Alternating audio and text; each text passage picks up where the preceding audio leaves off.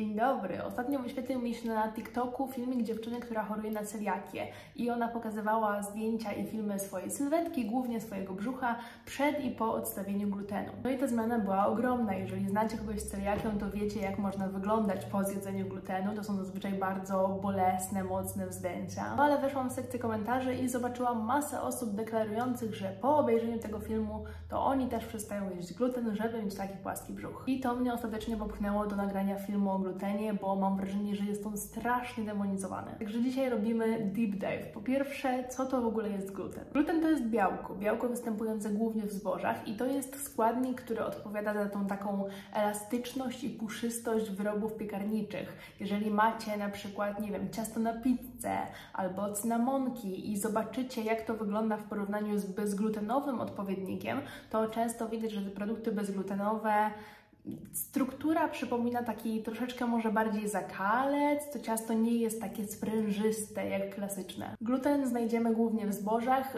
Y, trzy główne kategorie to jest pszenica, żyto i jęczmień. Można też znaleźć gluten w owsie.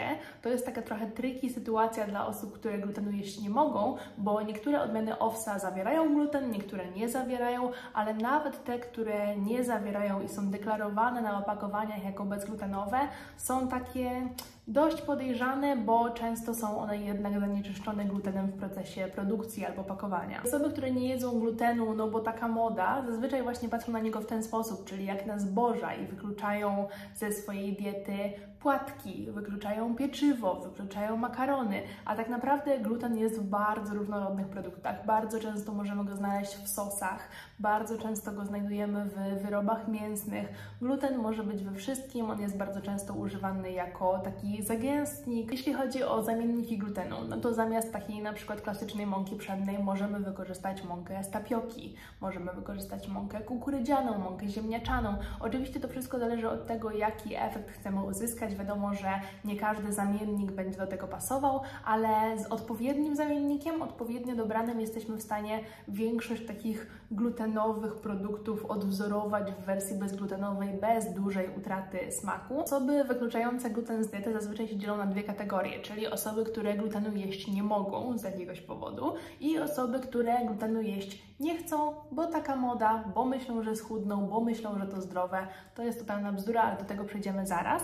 A najpierw porozmawiajmy o tej pierwszej kategorii, czyli o osobach, które glutenu faktycznie jeść nie mogą. No i po pierwsze będą to osoby z chorobą autoimmunologiczną, jaką jest celiakia. Genetycznie większość osób z celiakią posiada jeden z tych dwóch genów i to są geny, które kodują białka na powierzchni komórek odpornościowych. I te białka pomagają w rozpoznawaniu i reagowaniu na różne zagrożenia typu bakterie i wirusy, ale jeżeli mamy celiakię, to te białka mylnie rozpoznają gluten również jako zagrożenie. Jeśli chodzi o to, jak celiaki można się nabawić, no bo niekoniecznie trzeba się urodzić z tymi genami, to można taką celiakię nabyć, jeżeli na przykład zbyt wcześnie wprowadzimy gluten do diety niemowlęcia, albo jeżeli jako dziecko mamy bardzo dużo infekcji litowych. Upraszczając i bardzo obrazowo, celiakia działa w ten sposób, że jeżeli na przykład zjemy sobie pizzę na cieście z mąki pszennej, to nasze komórki T rozpoznają ten gluten, identyfikują go jako zagrożenie i informują o tym cały nasz układ odpornościowy.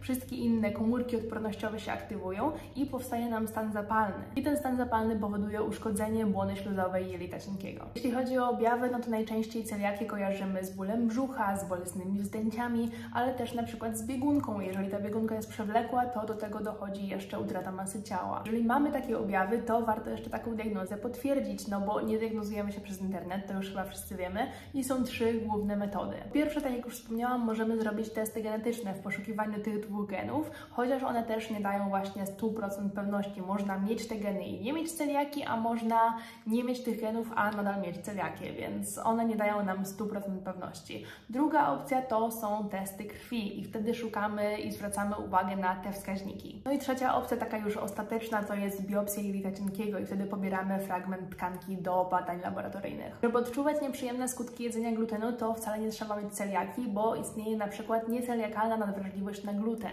i wtedy też zaleca się odstawienie glutenu. Inna grupa osób, którym może pomóc wykluczenie glutenu z diety, to są osoby z wszelkiego rodzaju schorzeniami jelitowymi, szczególnie tymi zlokalizowanymi w jelicie cienkim. I to są na przykład osoby z IBS, czyli zespołem nadwrażliwości jelitowej. Zaczęłam od tej takiej strasznej strony glutenu, ale mimo tych wszystkich rzeczy, gluten dla większości populacji nie jest niezdrowy i nie zaleca się wykluczania go bez żadnego medycznego powodu. Ja zawsze przytaczam ten przykład w kontekście laktozy. Jeżeli ktoś nie ma żadnego problemu z trawieniem laktozy, ale decyduje się na ustawienie jej, no bo to jest modne, no bo nie wiem, schudnę, no bo taka fajna dieta, ta moja ulubiona celebrytka nie je laktozy. I po jakimś czasie stwierdzamy, hmm, jednak, jednak może chciałabym wrócić do tej laktozy, to może się okazać, że tak jak wcześniej nie mieliśmy problemów z trawieniem laktozy, tak teraz je mamy. To dlatego, że jeżeli przestajemy na długi czas jeść produkty zawierające laktozę, to organizm stopniowo przestaje wytwarzać laktazę, czyli enzym odpowiadający za rozkładanie laktozy. To po prostu był zbędny, ale teraz, kiedy chcemy znowu zacząć jeść laktozę,